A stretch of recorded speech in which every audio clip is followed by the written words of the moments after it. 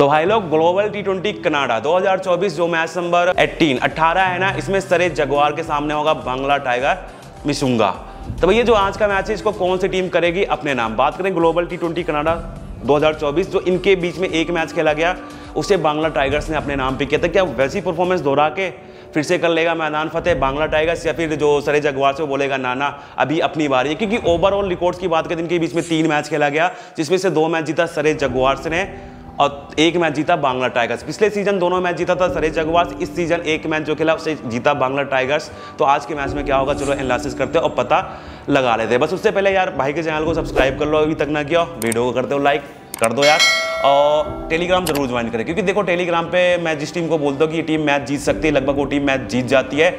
जिस ओवर में बोलता हूँ विकेट जाएगा, लगभग उसी ओवर में विकेट जाता है। पाँच दस पंद्रह ओवर में जितने रन बोलता हूँ बनने के लिए ना, उतने ही रन बनते हैं। इतनी ज़बरदस्त अपडेट कहीं मिलेगी? कहीं भी ना मिलेगी आपको। चिराग लेके ढूंढोगे ना, तब भी ना मिलेगी। अच्छा आपको यकीन नहीं है तो ऐसा करो, अभी तुरंत डिस्क्रिप्शन में जाओ, वहाँ पर लिंक मिलेगी। जो कमेंट बॉक्स में सबसे पहला कमेंट है, वहाँ पर भी लिंक मिल जाएगी। अफसर प्रोडक्शन हाउस के नाम पर भाई का टेलीग्राम है ज्वाइन करो।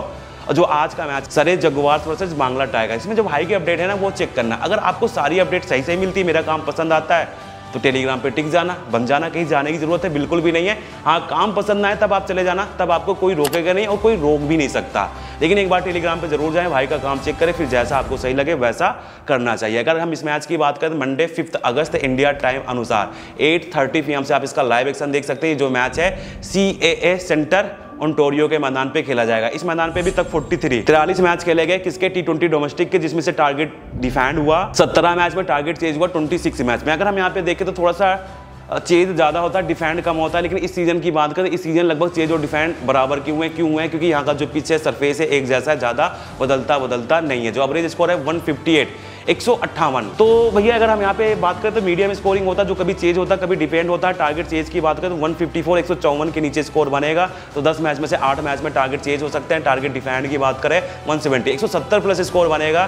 तो 10 मैच में से 8 मैच में टारगेट डिफेंड हो सकता है। 154 से 170 के बीच में स्कोर होगा, तब समझ जाना जो मामला है ना, वो तो बराबर का आ गया, जो कि चेंज भी हो सकता है और डिफेंड भी हो सकता है। भाई लोग, यहाँ का जो सरफेस है, वो हार्ड है, जिसकी वजह से होता है? कि शुरू में तेज गेंदबाजों की जो बॉल है, थोड़ा बहुत स्विंग करती है। जब बॉल पुराना हो जाता है तो जो स्पिनर्स गेंदबाज है, उनको भी हेल्प करता। क्यों? क्योंकि तब कंडीशन स्लो हो जाती, जब स्लो हो जाएगी, जो बॉल होता है बैट पे रुक के आता है तो ऐसे में रन बनाना छोड़िए। विकेट बचाना भी मुश्किल होता है जो तेज गेंदबाज वेरिएशन करते नकल बॉल उनको भी हेल्प मिलने लग जाती। बाउंड्री लेंथ मीडियम है।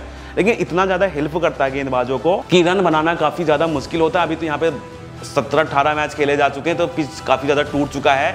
तो भैया, जो मैच है ना, आज का भी मीडियम स्कोरिंग या लो स्कोरिंग ही होगा। पावर प्ले स्कोर की बात करें तो 41 से 46 के बीच में देखने को मिल सकता है। 20 ओवर स्कोर की बात करें तो 150 से 165 के बीच में देखने को मिल सकता है। और इस मैदान पे अगर हम दोनों टीमों की परफॉर्मेंस की बात करें तो सरे जगवास ने 10 मैच खेला 6 जीते 4 हारे, लगभग एक जीतता है, एक हार जाता है। बात करें बांग्ला टाइगर्स की। तो इसने 11 मैच खेला तीन जीते, आठ हारे। तो इनकी जो परफॉर्मेंस इस मैदान पे खराब है, लेकिन इस सीज़न कहीं ना कहीं बढ़िया परफॉर्मेंस करी है। जो चार पाँच मैच खेला उसमें से तीन मैच जीते, दो मैच हारे। तो आज के मैच में क्या होगा? सबसे पहले हम बात करते हैं यहाँ पे बांग्ला टाइगर मिशुंगा की। तो अगर हम इनकी बल्लेबाजी की बात करें, जो बल्लेबाजी बहुत ज़्यादा अच्छी ना चल रही, जैसे कि रहमान गुरबाज एक दो मैच में बढ़िया परफॉर्मेंस करे तो एक दो मैच में फ्लॉप भी रहे। सेम कहानी हज़रत उल्ला जजाई की। बस एक मैच में बढ़िया खेले, बाकी के मैच में फ्लॉप रहे। मोहम्मद वसीम ने भी एक आता है दो मैच में रन बनाए, बाकी के मैच में फ्लॉप सकीब हसन गेंदबाजी अच्छी कर रहे हैं। लेकिन बल्लेबाजी की बात करें तो बल्लेबाजी बहुत ज़्यादा अच्छी नहीं कर पा रहे हैं। बात करें, इफ्तिकार अहमद की तो इफ्तिकार अहमद ने भी एक दो मैच में बढ़िया बल्लेबाजी करी, मैच जीता है। एक दो मैच में ये भी फ्लॉप हुए। हाँ उसके साथ में थोड़ा सा गेंदबाजी को ऑप्शन देते हैं, लेकिन बहुत ज़्यादा अच्छा नहीं। रैयान पठान की बात करें तो भैया, एक भी मैच में ना तो बढ़िया बल्लेबाजी कर पाए, ना तो बढ़िया गेंदबाजी कर पाए। सभी मैच में फ्लॉप। डेविड बीजे की बात करें तो कहीं ना कहीं उन्होंने अभी तक बढ़िया परफॉर्मेंस करी है।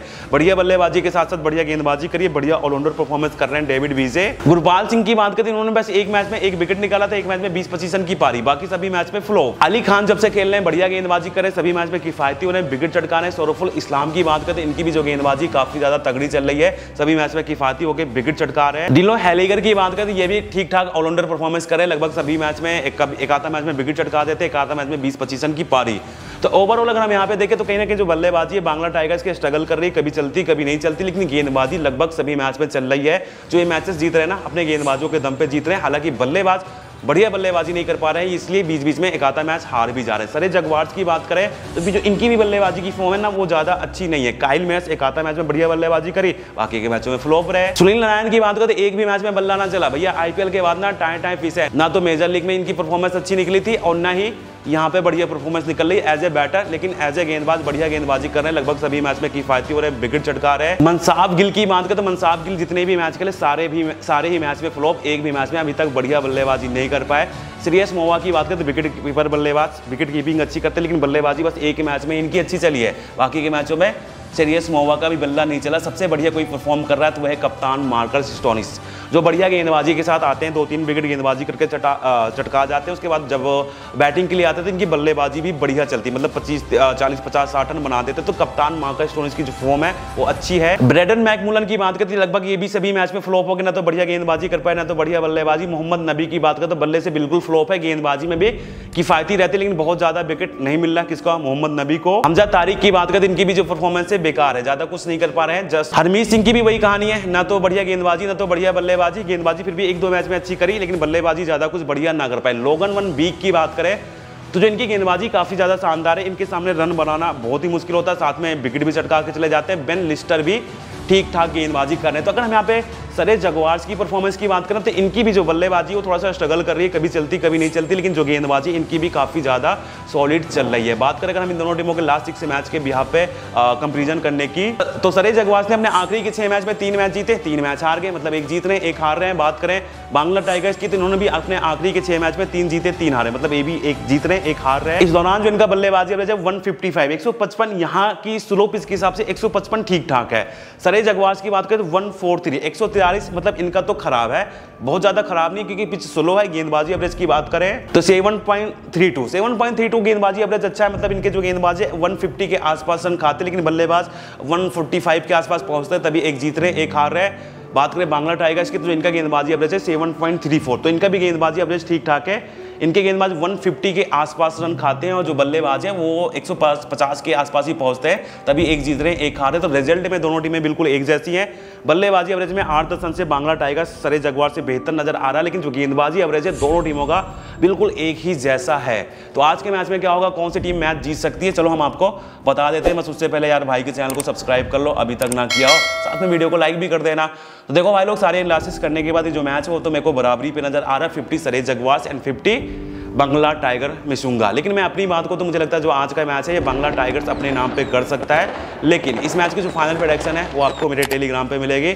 तो अभी डिस्क्रिप्शन में जाओ, वहाँ पे लिंक मिल जाएगी, जो कमेंट बॉक्स में सबसे पहला कमेंट है, वहाँ पे भी लिंक मिल जाएगी। अपसा प्रोडक्शन हाउस के नाम पे भाई का टेलीग्राम है ज्वाइन कर डालो। बाकी मिलते हैं अगली वीडियो में, अगले मैच की प्रोडक्शन के साथ। तब तक के लिए गॉड प्लेस यू